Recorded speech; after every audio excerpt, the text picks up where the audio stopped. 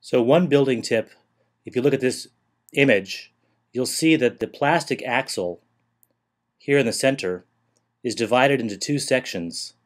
The shorter section is just the right length to fit into the motor. So on the second image here, you'll see the motor is attached on the shorter side. Now that's very useful because it keeps the axle from falling out uh, of the motor completely. So you can use this plastic piece, the plastic axle, to ensure that the axle itself will not slip out of the motor.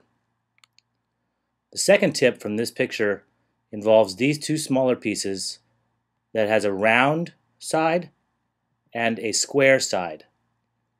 This piece replaces a short axle that is going to go through a small gear. So if you see on the second picture here, these two small gears will fit onto those plastic square parts and there's no need for an axle to actually go through to the opposite side in the other three situations.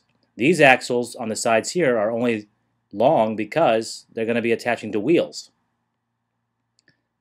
They're not necessary for these smaller gears. These smaller gears are called idlers. They don't actually increase or decrease the torque or the speed of the wheels in relation to the motor itself. Now, one more thing that you notice about them existing, you know, why are they there?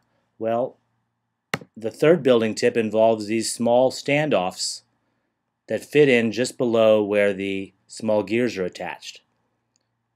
Because these gears are smaller, they allow for room to be used for other reasons, and this reason in particular is to hold the two longer 2 by 10 beams together.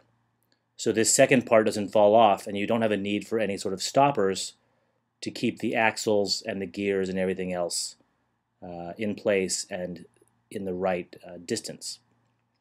So that's the third tip here. You can use these short uh, standoffs to hold two beams together, but only if you use small gears because they're the only way that you're going to have room to place a short standoff.